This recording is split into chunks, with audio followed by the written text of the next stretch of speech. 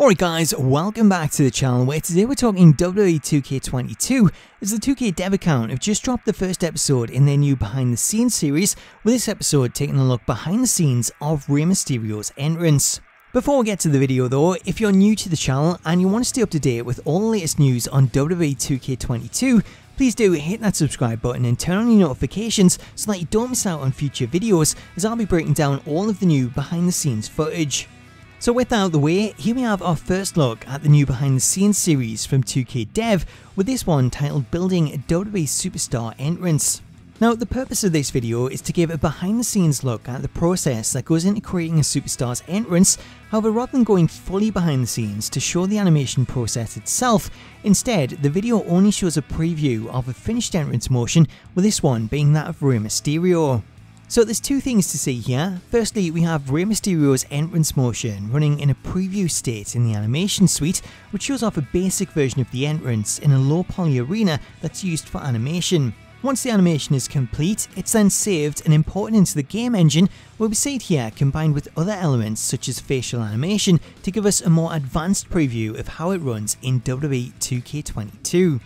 Now, there's not a lot that I can say about this process, however, there is a few things that I can point out when comparing the footage to Rey's previous entrance from 2K20, as if we go back and we compare the footage side by side, then you'll notice that the animation shown here is the same one that Rey's been using since 2K19, with the only difference being that the new version features different camera angles. Seeing this comparison, it is somewhat of a disappointment, as although the new camera angles look good, and there's nothing wrong with Rey's entrance motion, Given the game's tagline of it hits different, it's really strange to see 2K continue to show off the same animations that we've seen in past games rather than showing off something new that we've yet to see. For example, one thing that 2K could have done is gone down the route of showing off the entrance motion for a new superstar that's being added to the game, as we could have seen the same kind of preview that's shown here without showing off that wrestler's model, which would allow fans to speculate on whose entrance it is and get excited for someone new while still keeping that reveal a surprise as the actual model isn't shown.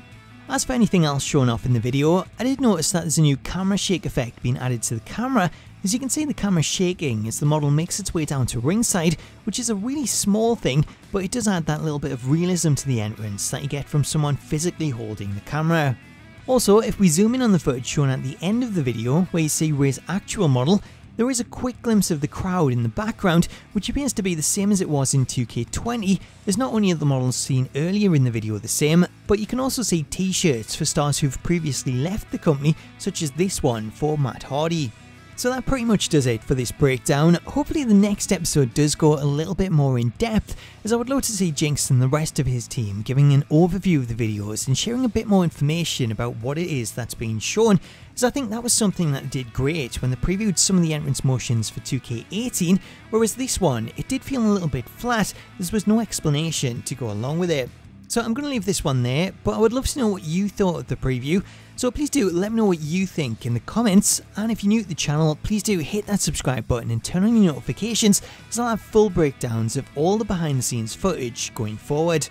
Until next time though, thank you so much for watching this video. Have yourself an awesome day and I'll catch you later.